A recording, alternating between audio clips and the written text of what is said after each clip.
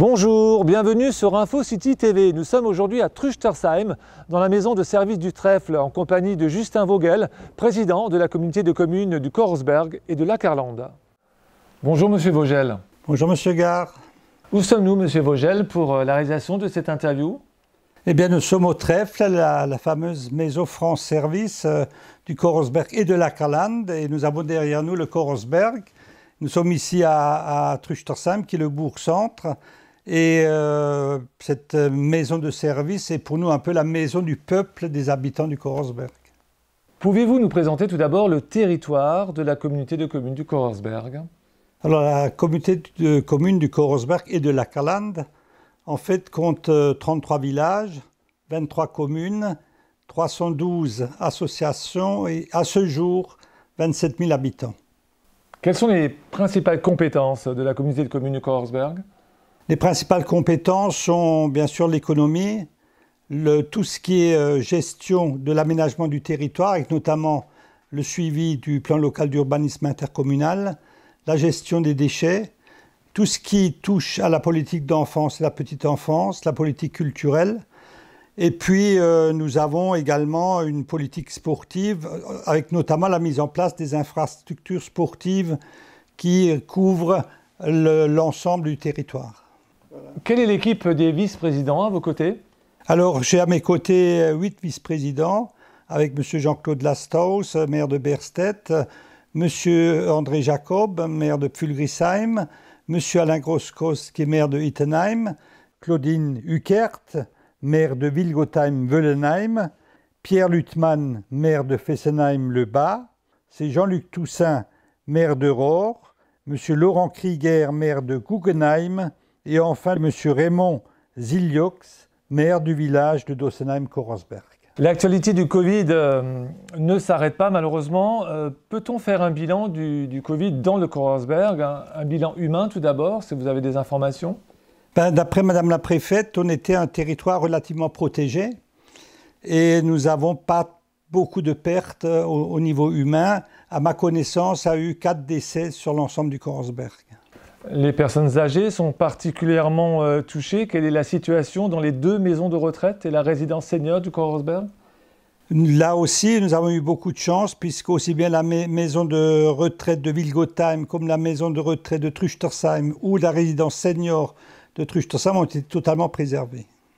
Quelles sont les conséquences du Covid cette fois sur la situation économique des entreprises, des commerces, des restaurants?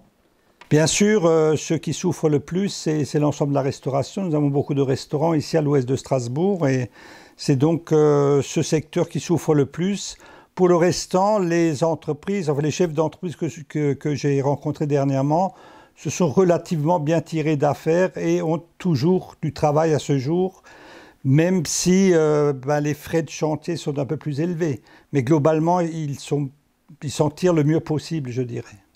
Est-ce que vous pensez, euh, vous êtes optimiste quant à l'action, à la réaction des, commerces euh, et de ceux qui font de la vente directe euh, avec le, click and collect par exemple Est-ce que vous pensez qu'il y a peut-être quand même des solutions pour limiter les dégâts? Moi, je pense que c'est une des solutions. Le tout est de communiquer et, je pense que c'est à nous aussi, les collectivités locales, les communes, la communauté de communes, de, de faire passer le message auprès de l'ensemble des consommateurs et des habitants de ce territoire. Quelles sont les grandes entreprises, quels sont les grands employeurs dans le Korsberg Écoutez, euh, on n'a pas énormément de très grandes entreprises. Nous sommes d'ailleurs euh, une des communautés de communes qui a le moins de zones d'activité par tête d'habitants de toute l'Alsace. Les deux gros employeurs sont d'une part le Super U de Truchtersheim et l'entreprise Metzger-Müller de Ittenheim. Et nous avons deux entreprises, euh, je dirais AMS qui fait des ascenseurs, et puis l'entreprise Vimer qui est une grande entreprise de maçonnerie. Le reste, c'est quand même des petits artisans pour la plupart. Pour, pour autant, le Korsberg a quand même la réputation d'être euh, un territoire riche. Riche par les, les, gens qui y habitent, parce que je dirais longtemps le Korsberg a été considéré euh, comme étant une des terres les plus fertiles d'Europe, qui était un peu construit comme le grenier à blé de Strasbourg. Et aujourd'hui, je dirais que c'est devenu euh, un lieu de résidence pour des personnes un peu privilégiées, à telle enseigne qu'on nous a qualifié de petit Monaco de la région strasbourgeoise. Comment s'est déroulée la rentrée scolaire, celle euh, d'il y a quelques jours, du 2 novembre? Écoutez, nous nous sommes beaucoup concertés avec les, différents directeurs et directrices d'école et donc nous avons pris les précautions, euh, un, maximum de précautions au niveau des écoles en mettant à leur disposition également du personnel communal afin que cette rentrée se passe le mieux possible et dans euh, le respect des règles sanitaires euh, la plus strictes. Peut-on à présent savoir un peu plus sur vous, Monsieur Vogel?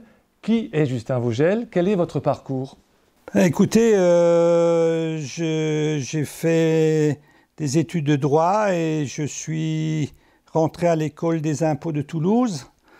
Et donc, je me suis retrouvé au ministère euh, des Finances et du Budget, et puis euh, par la suite à la Direction générale des impôts.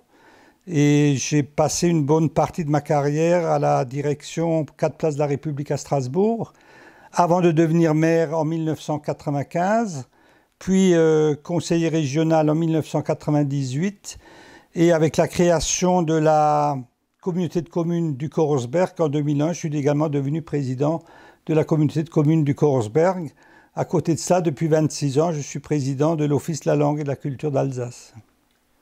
Quelle est votre fonction, enfin votre domaine d'activité au sein de la région Grand Est? Euh, j'étais longtemps avec Adrien Zeller et Philippe Richard, j'étais vice-président chargé des finances. Et aujourd'hui, justement, je m'occupe euh, plus spécifiquement euh, de tout ce qui est défense de la langue et de la culture régionale. Il existe en France près de 460 maisons France Service, dont 8 en Alsace, et notamment ici de Trèfle, où nous sommes pour réaliser cette, cette interview. Quels sont les services proposés à l'usager du Korsberg Oh là, il faudrait presque une demi-heure pour, pour tous les résumer. Je dirais il y a plus d'une trentaine de services et surtout chaque année on essaie d'adapter de nouveaux services à la demande. Mais je dirais il y a deux services vraiment moi qui, me tiennent à, relever. C'est d'une part qu'on a un écrivain public euh, qui a beaucoup de succès, vu, la, lourdeur de l'administration française je suppose.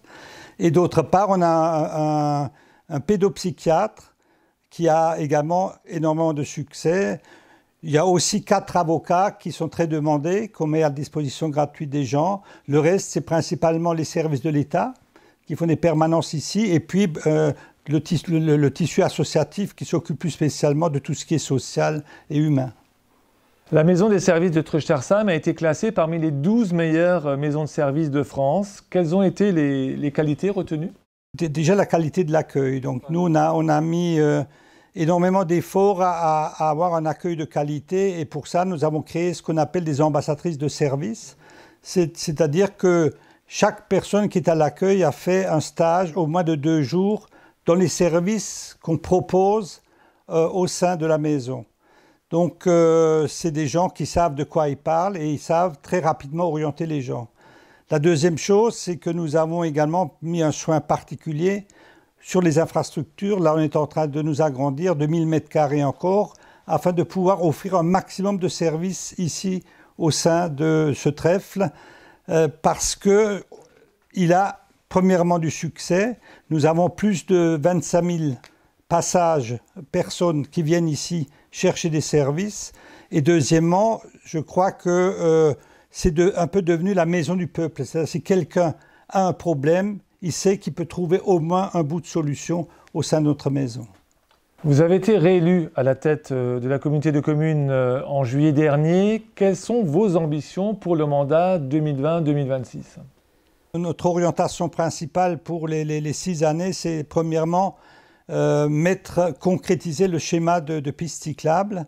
Nous avons mis sur place avec le pays de la Zorn un schéma de pistes cyclables très ambitieux Deuxièmement, nous avons également euh, entrepris euh, des, gros travaux dans le cadre du, grand cycle de l'eau pour lutter contre tout ce qui est inondation et coulée d'eau boueuse, qui, coûtera pas, pas, moins de 8 millions d'euros. À part cela, nous poursuivrons bien sûr tout ce qui est développement scolaire, périscolaire, tout ce qui est jeunesse. Nous, sommes très ambitieux là-dedans. En fait, nous voulons que tous les deux ans, nous construisons un nouveau périscolaire. Nous avons aussi des besoins au niveau gymnase. Là aussi, il y aura construction d'un nouveau gymnase. Et puis, euh, nous allons développer euh, nos deux déchetteries, étendre les déchetteries et les revaloriser. Vous avez évoqué la piste cyclable et le, travail en commun avec euh, le voisin, le pays de la Zorn, euh, dont son président est M. Euh, Freund, et le département. Est-ce qu'aujourd'hui c'est indispensable de, travailler de façon collective?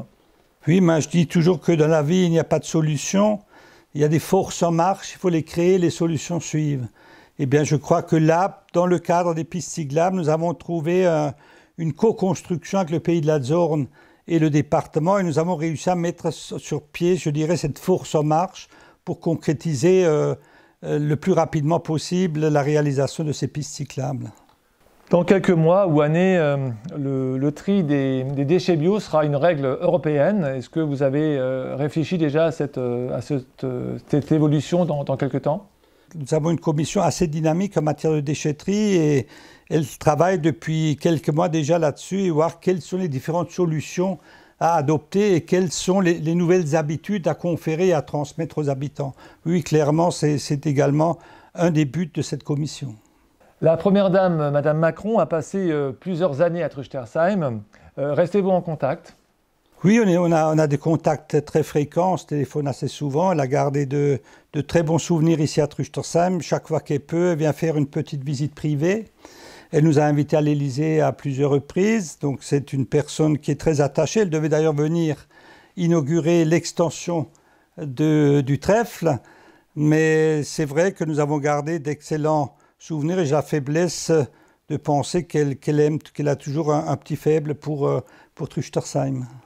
Dernière question, Monsieur le Président. L'année 2020 constituera un épisode important dans nos vies, peut-être dans notre société tout entière. Euh, restez-vous optimiste euh, quant à l'issue de cette pandémie je crois qu'on n'a pas le choix, il faut rester debout. Euh, je dis toujours, c'est la nuit qu'il faut croire à la lumière et je dis toujours que l'avenir appartient à ceux qui l'imaginent, pas à ceux qui le redoutent. Alors imaginons l'avenir et essayons de l'aborder avec de la façon la plus optimiste possible.